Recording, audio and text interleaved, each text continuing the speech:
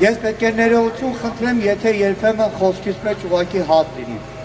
Մի քանի օրվա հարավակներից հետո այդպես ստացվում։ Արդեն մի քանի օր շարունակ ամբողջ Հայաստանը, ամբողջ հայությունը ալեկոծվել է։ Մի քանի օր շարունակ հայ ժողովուրդը քուն, հանգիստ, հանգստություն, խաղաղություն չունի մեր հայրենակիցները ի տարբերություն մեկ մարդու ի տարբերություն մեկ մարդու հետ նրա նեղ շրջապատի ի տարբերություն մեկ մարդու նրա նեղ շրջապատի եւ 84 պատգամավորների որոնք չեն հասկանում հայրենիքի կորստյան այդ գացումը որ չեն գիտակցում թե ինչ են կորցրել միգուցե նրանք չեն էլ կորցրել, որովհետև իրենցը չի եղել։ Հայ ժողովուրդը սքում է, հայ ժողովուրդը ապրում է, հայ ժողովուրդը ողբում է այդ կորստով։ Թերևս պատահական չէր, որ այսօր Արցախի թեմի 30 տարվա առաջնորդ Պարքև Սրբազանը սրտի կաթված էր ստացել, որովհետև ով ով Պարքև Սրբազանն է, որ գիտի ինչ է կորցրել։ Պարքև Սրբազանն է, որ 92 թվականի մայիսի 8-ին արտասվելով աղոտ կարդում Ղազանչեցոցում։ Պարքև Սրբազանն է, որ շուշվա ամեն մի վերանորոգվող տան հետ ուրախանում ու ապրում։ Պարքև Սրբազանն էր, որ ամեն մի ծնունդով ուրախանում։ Պարքև Սրբազանն էր, որ կնքում էր հարյուրավոր այն երիտասարդներին, որոնք պսակվեցին Արցախում, որոնք պսակվեցին ու հսկայական զավակներ ունեցան շատերը հենց Արցախում։ Պարքև Սեփազանն էր, որ հասկանում էր ինչ էր Շուշին։ Ինչպես ամեն մեկն եք հասկանում Շուշին ինչ է։ Ի տարբերություն Հայաստանի Հանրապետության այդ մեկ մարդու, այդ մեկ մարդու, որ անամոթների առաջ անամոթ պատգամավորների առաջ, անամոթաբար Շուշին մռայլ քաղաք է համարում, որովհետև երևի նա կյանքում մի քանի անգամ Արցախում լինելով, հետո իբրև վարչապետ Արցախում գնալով հյուրանոցի սենյակներից թանկարժեք ռեստորաններից այն կողմ չհասավ, չտեսավ հադրութը, չտեսավ Փալար գյուղը,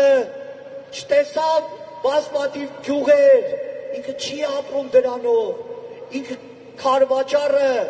ինքը դադիվանքը, ամեն ինչը պատկերացնում էր միայն ՀԴՄ կտրոնով,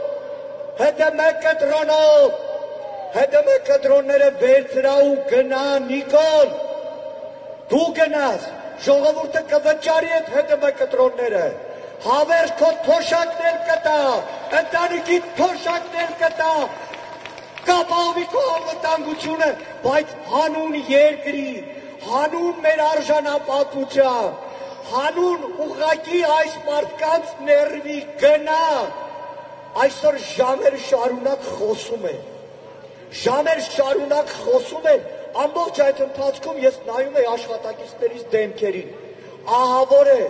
Նիկոլ, հասկացիր, դու մարդկանց արդեն հոգեվիճակի վրա ես ազդում։ Մարդիկ դժբախտ են, դու կրկնակի ես դժբախտացնում։ Քո անիմաստ խոսքերով, քո ամեն րոպե սուտ խոսելով, Ռուսիացած կրուցիցը լինելով 30 տարի այդպես ապրեցիր։ Թերթովդ այդպես ապրեցիր։ Հարամեցիր ժուրնալիստիկա մասնագիտությունը, այս ու այն պաշտոնյայի փողով մեկ ու մեկի դեմ գրեցին, մեկից բողարնելով իր դեմ երկու օր հոտված չտպեցին, աստծու սիրում, գնա, ու այսօր էլ, այսօր էլ, երեկվա չգիտեմ ինչ հոգեվիճակում կամ ինչից հետո այդ ցնդաբանություն գրությունից հետո այսօր արդարանալու համար է խոսում, թե ես բռնություն չեմ կիրառում եւ թող բողոքավորները դիմությունը եւս վստահեցնե, որ բռնություն չեն կիրառում։ Նիկոլ, տարիներ շարունակ դու այնքան չես սիրել մեր երկիրը, դու այնքան չես սիրել մեր ժողովրդին, որ մի սադրել ես բռնության, այդ բռնության հետևանքով ունեցել եք ցավալի զոհեր, դու մի սադրել ես, բռնության սադրիչը դու ես, այստեղ կանգնած մարդիկ չեն, այն քաղաքական կուսակցությունները,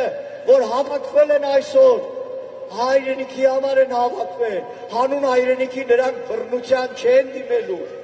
Եվ դրա համար էր, որ հենց առաջին բռնության դեպքը, երբ մութ անայտ մարդիկ գրոհեցին ազգային ժողովը, կառավարությունը, նույն իր կառավարական ամառանոցը, հենց այդ կուսակցությունները հրաապարակային հրաապարակային բռնությունը դատապարտեցին։ Այսօր ասում է թող կուսակցությունները